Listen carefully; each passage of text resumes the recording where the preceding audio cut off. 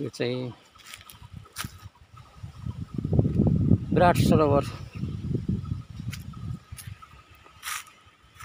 विराट पोखरको विराट सरोवरमा चाहिँ यसले भन्दै गरेको यो पदमार्गको अवस्था यतिखेर यस्तो छ दर्शक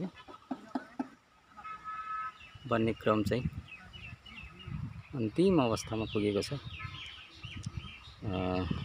पर्यटनहरूको वृद्धि अभिवृद्धिका लागि पर्यटन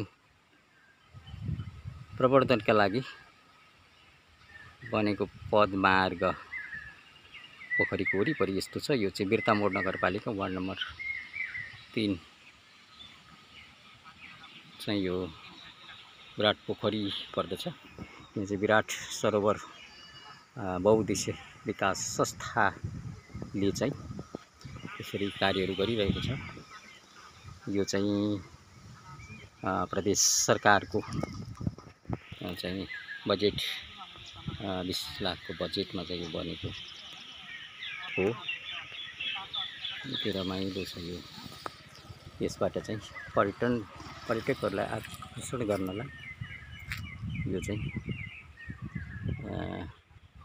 अवलोकनका लागि अत्यन्त सहज हुने देखिन्छ। यस्तो छ यो विराट पोखरी यो ऐतिहासिक धार्मिक तथा ऐतिहासिक क्षेत्र पर्यटकीय क्षेत्र झापाकै पर्यटकीय क्षेत्रमध्ये धार्मिक तथा ऐतिहासिक पर्यटकीय क्षेत्रमध्येको एक हो। यो अ, बिर्तामोडको प्रमुख पर्यटक क्षेत्रको रूपमा यसलाई लिन सकिन्छ। यो चाहिँ करिब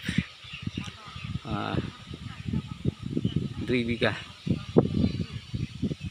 चार बिघा क्षेत्रफलमा चाहिँ यो फैलिएको भनेर बताइएको छ र यो चाहिँ राजा विराटले बनाएको अर्थात् खनेको हातले खनेर चाहिँ गाईका निमित्त पानी खुवाउन गाईलाई पानी खुवाउन बनाइएको पोखरी हो भनेर बताइएको छ। यस्तो छ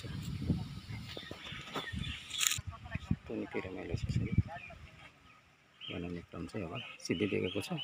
केही भाग यो लगभग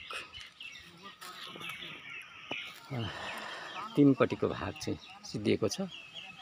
अब एकपट्टिको भाग चाहिँ बनाउन बाँकी छ।